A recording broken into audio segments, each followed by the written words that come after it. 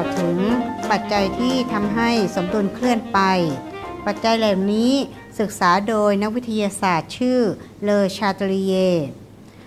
ปัจจัยที่น่าจะทำให้สมดุลเปลี่ยนไปก็ได้แก่การเปลี่ยนแปลงของความเข้มข้น อุณหภูมิ ความดัน การเติมก๊าซเฉื่อย หรือการเติมตัวเร่งปฏิกิริยา จากการศึกษาของนักวิทยาศาสตร์ท่านนี้ เขาได้พบหลักการเกี่ยวกับการเคลื่อนไปของสมดุลดังนี้ เมื่อระบบเข้าสู่สภาวะสมดุลแล้วถูกรบกวน สมดุลก็จะเสียไป เมื่อเสียไปแล้ว ระบบก็จะปรับตัวในทิศทางที่ทำให้ปัจจัยนั้นลดลงเหลือน้อยที่สุด แล้วระบบก็จะเข้าสู่ สภาวะสมดุลอีกครั้งหนึ่ง เพราะฉะนั้นในการดูการเคลื่อนไปของสมดุลเราจะอาศัยหลักการนี้ตลอด ตัวอย่างเช่น อะตอมแรกของโลหะได้รับความร้อน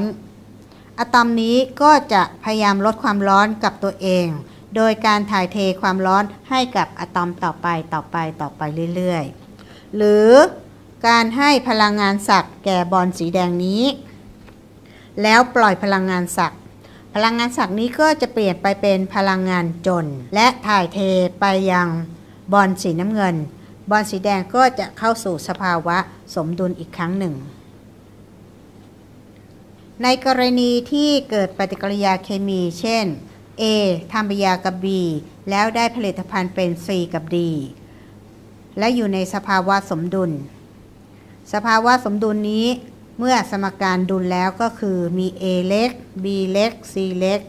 D เล็ก เป็นสัมประสิทธิ์บอกจำนวนโมล เราสามารถเขียนค่า K ได้ตามสมการนี้ก็คือผลิตภัณฑ์หารด้วยสารตั้งต้น ยกกำลังด้วยสัมประสิทธิ์บอกจำนวนโมล เมื่อรบกวนสมดุล โดยการเพิ่มความเข้มข้นของสารตั้งต้น ซึ่งอาจจะเป็น A ก็ได้ B ก็ได้เข้าไป เลอชาตลีเย่ก็บอกว่า ระบบก็พยายามจะลดปัจจัยการเพิ่มอันนี้ การที่มันจะลดได้ก็ต่อเมื่อมันจะเกิดปยาไปข้างหน้าทำให้ความเข้มข้นของสารตั้งต้นที่เติมมากขึ้นไปเนี่ยลดลง จนกระทั่งอัตราส่วนของสารตั้งต้นกับผลิตภัณฑ์ และยกกำลังด้วยสัมประสิทธิ์บอกจำนวนโมลนี้ มีค่าเท่ากับค่า K ปฏิกิริยานี้หรือระบบนี้ก็จะเข้าสู่สมดุลอีกครั้งหนึ่ง หากรบกวน ระบบโดยการเพิ่มสาร C หรือสารดี ระบบก็จะเคลื่อนไปทางซ้าย จนกระทั่งอัตราส่วนความเข้มข้นของผลิตภัณฑ์กับสารตั้งต้น มีค่าเท่ากับ K ระบบก็จะเข้าสู่สภาวะสมดุลอีกครั้งหนึ่ง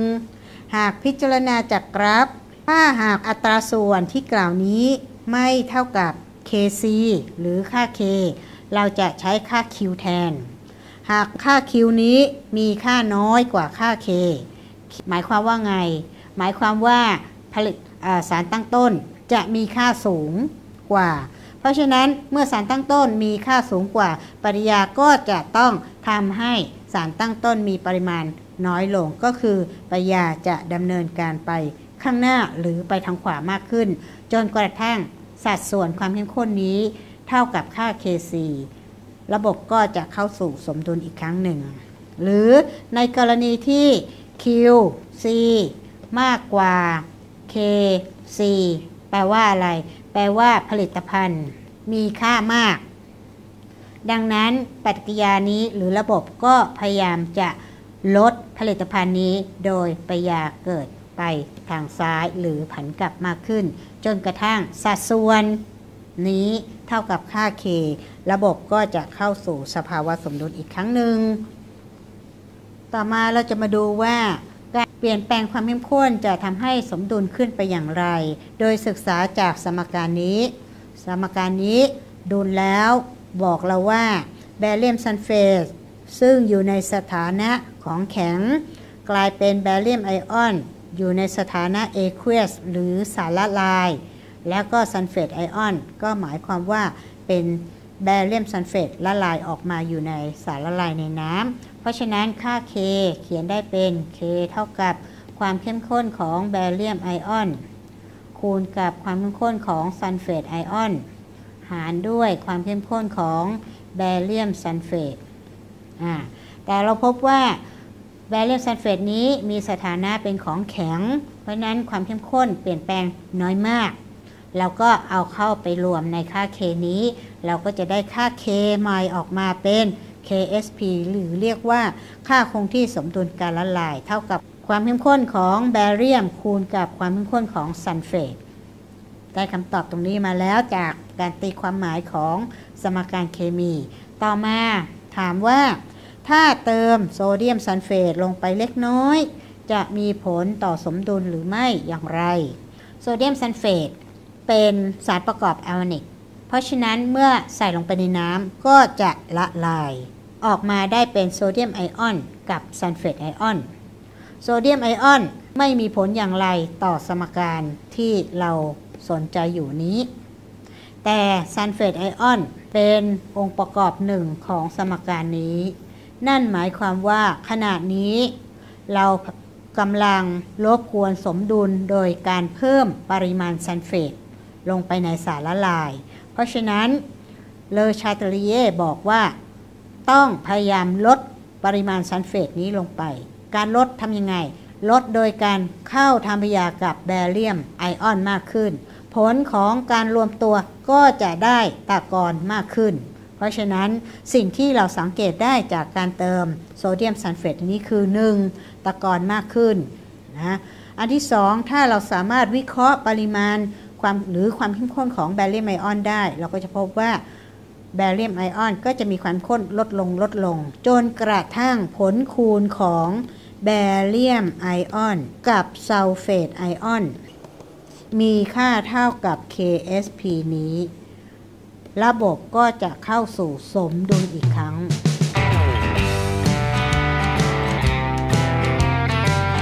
การดำเนินการไปของสารแต่ละตัว อาจจะนำเสนอด้วยกราฟดังรูปนี้ ปฏิกิริยานี้เขาสนใจระบบของแก๊สไนโตรเจนทำปฏิกิริยากับแก๊สไฮโดรเจน แล้วได้เป็นแอมโมเนียออกมา ซึ่งแอมโมเนียนี้สามารถนำไปใช้ประโยชน์ต่อก็ เช่น ผลิตเป็นปุ๋ยแอมโมเนียมทั้งหลายได้นะสมการนี้ถามว่าดูหรืออยังเขียนสัมประสิทธิ์บอกจำนวนโมลแสดงว่า สมการดุลแล้ว สมการนี้ดุลแล้วบอกว่าไนโตรเจน 1 โมลทำปฏิกิริยากับไฮโดรเจน 3 โมล ได้แอมโมเนียมา 2 โมล เพราะฉะนั้นช่วงบริเวณนี้ปฏิกิริยานี้เข้าสู่สภาวะสมดุลแล้ว แต่ถ้าหากว่าเราเพิ่มปริมาณไนโตรเจนเข้าไป ปริมาณความข้นของไนโตรเจนก็จะสูงขึ้น ผลทำให้ ก็จะรวมตัวกับไฮโดรเจนมากขึ้น เพราะฉะนั้นปริมาณไฮโดรเจนก็จะลดลง รวมตัวแล้วเกิดอะไรขึ้น เกิดเป็นแอมโมเนียมากขึ้นปริยานี้ก็จะดำเนินการไปอย่างนี้ จนกระทั่งความเข้มข้นทั้ง 3 นี้คงที่ แล้วผลคูณของความเข้มข้นเหล่านี้ก็คือผลคูณของผลิตภัณฑ์ ยกกำลังสองหารด้วยไนโตรเจน คูณกับไฮโดรเจน ยกกำลังสาม เข้าสู่สภาวะสมดุลคือมีค่าเท่ากับค่า K นั่นเอง อีกในหนึ่งก็คือ เมื่อระบบเข้าสู่สภาวะสมดุลแล้ว เราเติมแก๊สไฮโดรเจนมากขึ้น นั่นหมายความว่าแก๊สไฮโดรเจนก็จะรวมตัวกับไนโตรเจนไนโตรเจนก็จะลดลง แอมโมเนียก็จะได้เพิ่มขึ้น สัดส่วนนี้เป็นไปตามสมสมการที่ดุลแล้ว เช่น ถ้ามีไนโตรเจน 1 โมลไฮโดรเจนก็ต้องใช้ 3 โมล แล้วก็ได้แอมโมเนียมา 2 โมล แล้วเมื่อปฏิกิริยาเกิดไปแล้ว ระบบก็จะเข้าสู่สมดุลใหม่อีกครั้งหนึ่ง เพราะฉะนั้นค่าคงที่สมดุลสามารถคำนวณจากสมการ หรือดูจากการเปลี่ยนแปลงความข้นจากกราฟก็ได้ ต่อไปเป็นผลของอุณหภูมิต่อการเคลื่อนไปของสมดุล ถ้าพูดถึงอุณหภูมิก็หมายความว่าเป็นการรบกวนสมดุลด้วยความร้อนอความร้อนนี้ก็จะทำให้สมดุลเปลี่ยน แต่เมื่อระบบจะเข้าสู่สมดุลอีกครั้ง ค่าคงที่เปลี่ยนไปด้วย ค่าคงที่ไม่ใช่ค่าเดิมแล้วนะถ้าพูดถึงความร้อนก็จะพูดถึงค่าทางเทอร์โมไดนามิกส์ก็คือค่าเดลต้า G สัมพันธ์กับค่าคงที่สมดุลตามสมการนี้ และค่าเดลต้า G ก็จะมีค่าคือเดลต้า H หรือ enthalpy ลบ T เดลต้า S สองสมการนี้เอามาแทนค่ากัน เราก็จะได้สมการนี้ออกมา สมการนี้บอกอะไรเราบอกว่าถ้าหากว่าเราเปลี่ยนแปลงความร้อน ค่าที่ขึ้นอยู่กับอุณหภูมิ ต้องเปลี่ยนแปลงด้วย เช่น ค่า K delta H และ delta S แต่หากว่าอุณหภูมินั้นเปลี่ยนแปลงน้อย หรือเปลี่ยนแปลงไม่มาก ค่าสองค่านี้ถือว่าเป็นค่าคงที่ เพราะฉะนั้นเราก็จะได้สองสมการที่อุณหภูมิ T1 กับที่อุณหภูมิ T2 ถ้าเราเอาสมการที่2ลบสมการที่1ค่านี้ก็จะหมดไป ก็จะได้ลอน k 2ลบ ลอน k 1เท่ากับ ลบเดต้า h หารด้วย rt 2ลบด้วยลบเดต้า h หารด้วย rt 1จะเห็นว่าเรามีตัวร่วม delta s ส่วน rt ในที่สุดแล้วลอน k 2ส่วน k 1ก็จะได้เป็นลอนของผลหาร เราก็จะได้สมการตามนี้ โดยที่ดึงตัวร่วมทางขวาออกมา ข้างใน 1 ส่วนที่ 1 หารด้วย 1 ส่วนที่ 2 ก็จะได้เป็นค่านี้ สมการนี้เป็นการหาค่าคงที่เมื่ออุณหภูมิเปลี่ยนไป เพราะฉะนั้นถ้าถามว่าอุณหภูมิเปลี่ยนจากที่ 1 ไปที่ 2 ค่า k จะเป็นอย่างไรก็หาได้จากสมการนี้ ตัวอย่างเช่น เจอระบบนี้อีกแล้วไนโตรเจนไดออกไซด์รวมตัว ได้เป็นไดไนโตรเจนเตตรอกไซด์บอกมาเลยค่าทางเทอร์โมไดนามิกส์เดต้า H เป็นลบ 58 กิโลจูล เป็นลบหมายความว่าคายความร้อน ค่า K ที่ 273 เท่ากับ 76 คำถามคือ ที่อุณหภูมิ 298 ค่า K K นี่ต้องเป็น K ใหม่แล้วเพราะอุณหภูมิเปลี่ยน K ใหม่เนี้ยจะมากกว่าหรือน้อยกว่าหรือเท่ากับ 76 ราะฉะนั้นจะเท่ากับ 76 เป็นไปไม่ได้ เพราะอุณหภูมิเปลี่ยนค่า K เปลี่ยนด้วยคำถามคือจะมากกว่าหรือน้อยกว่า อันนี้ให้วิเคราะห์ธรรมดา จะเห็นว่าปริยานี้คายความร้อน แสดงว่าสมการนี้มีความร้อนเข้ามาเกี่ยวข้อง แล้วเราทำที่อุณหภูมิไหนมากขึ้นไหมมากขึ้นกว่าเดิมถูกไหมคะ มากขึ้นกว่าเดิม เพราะฉะนั้นเป็นการใส่ความร้อนเข้าไป เพราะฉะนั้นปฏิกิริยาจะขึ้นไปทางไหน ไปทางซ้าย นั่นหมายความว่า เมื่อไปทางซ้ายแล้วอะไรจะมากขึ้น สารตั้งต้น เมื่อสารตั้งต้นมากขึ้น ตัวหารมากขึ้น ค่า k ก็จะน้อยลง เพราะฉะนั้นตอบได้ทันทีได้ว่า ค่า k จะมีค่าน้อยลง จะค่าเข้าต่อกับเท่าไหร่ก็ตอบคำถามไป สรุปว่าในกรณีที่เราทราบว่าปยานั้นคายความร้อน การเพิ่มอุณหภูมิจะทำให้ระบบเสียไป และระบบก็จะลดการรบกวนเข้าสู่สมดุลใหม่อีกครั้ง โดย ลดปริมาณ N2O4 แล้วกลับไปเป็น NO2 เพราะฉะนั้นค่าคงที่สมดุลที่อุณหภูมิสูงจะมีค่าน้อย อีกกรณีหนึ่งที่เกี่ยวข้องกับสมดุลเคมีอันเนื่องมาจากความร้อน ก็คือปฏิกิริยาของโคบอลต์น้ำซึ่งมีสีชมพู เมื่อเติมไฮโดรคลอริกซึ่งมีคลอไรด์ไอออน จะเปลี่ยนโครงสร้างเป็นโคบอลต์คลอไรด์ซึ่งมีสีฟ้า เมื่อนำสารสองตัวนี้ผสมกันพบว่าก็จะได้เป็นสีม่วง สีม่วงอันนี้ก็จะเป็นส่วนผสมของโคบอลต์น้ำกับโคบอลต์คลอไรด์และแบ่งออกเป็นสองส่วนส่วนหนึ่งไปให้ความร้อน ส่วนหนึ่งไปให้ความเย็นก็คือดึงความร้อนออก เราพบว่าเมื่อให้ความร้อนเข้าไป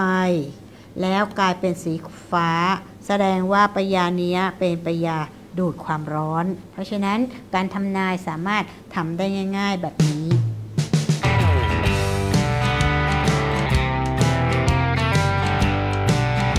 ก่อนจะเข้าสู่เรื่องของความดันต่อการเคลื่อนไปของสมดุลเคมี จะขอสรุปเกี่ยวกับความดันอีกครั้งหนึ่ง ความดันจะเปลี่ยนแปลงมากหากว่าสารที่เราสนใจนั้นเป็นแก๊ส และความดันของแก๊สนั้นก็เกิดเนื่องจาก โมเลกุลเคลื่อนที่ไปชนผนัง ดังนั้นหากในภาชนะมีแก๊สน้อย ความดันก็จะน้อย และเมื่อโมเลกุลมาก แรงดันก็จะมาก นั่นหมายความว่าเราสามารถปรับเปลี่ยนสมดุล อันเนื่องมาจากความดันได้โดย การปรับเปลี่ยนปริมาณของจำนวนโมลของสารนั่นเอง ตัวอย่างในสมการนี้ พบว่าสารตั้งต้นมีจำนวน 4 โมล ผลิตภัณฑ์มีจำนวนทั้งสิ้น 2 โมล นั่นหมายความว่า หลังเกิดปฏิกิริยาแล้วจะทำให้ความดันของระบบลดลง หากรบกวนสมดุลนี้โดยการเพิ่มความดันเข้าไป ระบบก็จะปรับตัวโดยลดความดัน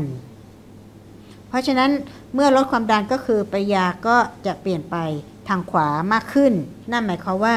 ปฏิกิริยานี้เราสามารถ ทำให้ได้ผลิตภัณฑ์มากขึ้น โดยการให้ความดันเข้าไปนั่นเอง และในที่สุดระบบก็จะเข้าสู่สภาวะสมดุลอีกครั้งหนึ่ง แต่หากว่าระบบเป็นสมการนี้ ซึ่งจำนวนโมลของสารตั้งต้น กับจำนวนโมลของผลิตภัณฑ์เท่ากันเลย เพราะฉะนั้นการใส่ความดันเข้าไป จึงไม่มีผลต่อการเคลื่อนไปของสมดุลนี้ เพราะฉะนั้นความดันจะมีผลต่อการเคลื่อนไปของสมดุลหรือไม่อยู่ที่สมการเคมีนั้นๆ ว่าจำนวนโมลของสารตั้งต้น และผลิตภัณฑ์เท่ากันหรือไม่ หากไม่เท่ากันแสดงว่าความดันมีผลมาก การเติมก๊าซเฉื่อยมีผลต่อการเคลื่อนไปของสมดุลหรือไม่ เราก็ต้องมาดูว่าการเติมก๊าซเฉื่อย บอกแล้วว่าก๊าซเฉื่อยแสดงว่าไม่มี ส่วนร่วมในปฏิกิริยาที่เราสนใจ แต่ทำให้ความดันของสภาวะสมดุลเพิ่มขึ้นเท่านั้นเอง แต่ความดันย่อยของแก๊สแต่ละชนิด แต่ละชนิด แต่ละชนิดแต่ละชนิดยังคงเท่าเดิม เพราะฉะนั้นจึงไม่มีผลต่อการเคลื่อนไปของสมดุล สุดท้ายการเติมตัวเร่งปฏิกิริยาทำให้สมดุลเคลื่อนไปหรือไม่ คำตอบก็คือไม่ เพราะคำว่าตัวเร่งปฏิกิริยาคืออะไร คือทำให้ปฏิกิริยาเกิดเร็วขึ้น เมื่อปฏิกิริยาเกิดเร็วขึ้น ระบบนั้นก็จะเข้าสู่สมดุลเร็วขึ้น จึงไม่มีผลต่อการเคลื่อนไปของสมดุล สรุปว่าเลอชาตลีเยนี้เป็นนักวิทยาศาสตร์ที่สามารถทำให้สภาวะสมดุลเคลื่อนไปได้ โดยใช้หลักการที่ว่า เมื่อรบกวนสมดุล จะทำให้สมดุลเคลื่อนไปในทิศทางที่ทำให้ปัจจัยที่รบกวนนั้นน้อยลง และระบบก็จะเข้าสู่สภาวะสมดุลใหม่อีกครั้งหนึ่ง ปัจจัยที่มีผลต่อการเคลื่อนไปของสมดุลได้แก่ความเข้มข้นอุณหภูมิ ส่วนความดันอาจจะมีผล หรือไม่มีก็ได้ขึ้นอยู่กับสมการเคมีที่สนใจ